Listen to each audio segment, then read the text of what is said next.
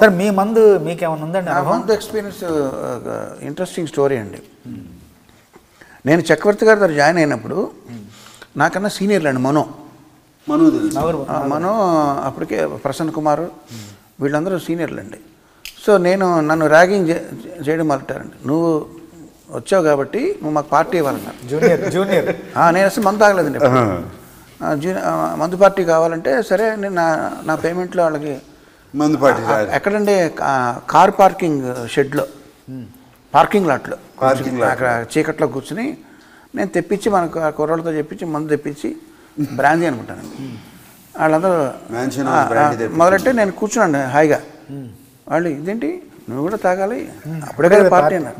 ఆ, ఆ, నాకు అర్థం లేదా? నేను నేను స్పాన్సర్ చేస్తున్నాను కదా. నేను ఏంటి? కుదరదు కుదరదని బెదిరించారండి. అప్పుడు నేను తాగి ఫస్ట్ స్టిప్ టేస్ట్ ఏం చెప్పమంటారా?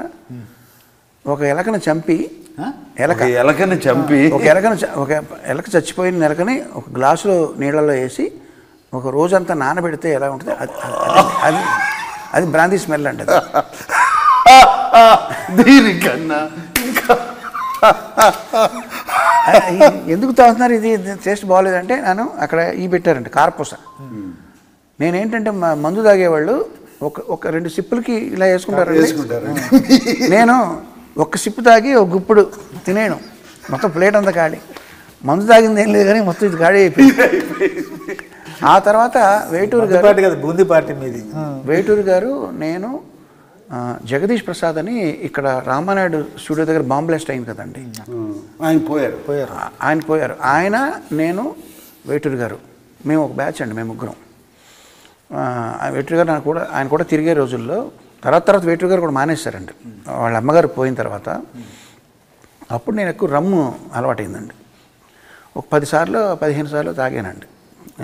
రమ్ రమ్మే నేను తాగింది ఎక్కువగా రమ్ అండి తర్వాత ఒక ఒక గుడికి వెళ్ళి మూకాంబిక టెంపుల్ ఎందుకో నాకు మానేయాలి అనిపించిందండి నేను మానేసిన నెక్స్ట్ డే నాకు ఫస్ట్ మ్యూజిక్ డైరెక్షన్ బ్రేక్ వచ్చిందండి.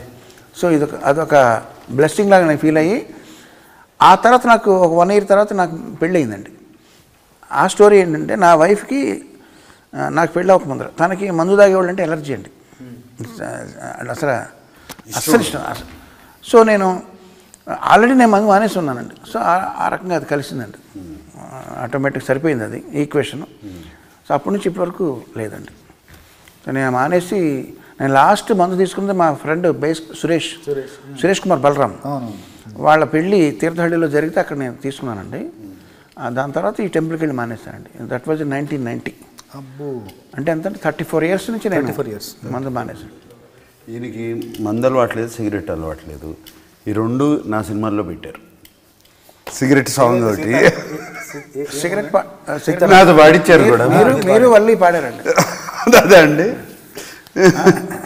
అంటే తను తన అందులో డైలాగ్ ఉంది కదండి. అవును. ఆ డైలాగ్ అన్న పాపానికి తను ప్లేబ్యాక్ ఆర్టిస్ట్ చేసామండి సంగపైన నాగార్జున అండ్ శ్రీవల్లి. శ్రీవల్లి.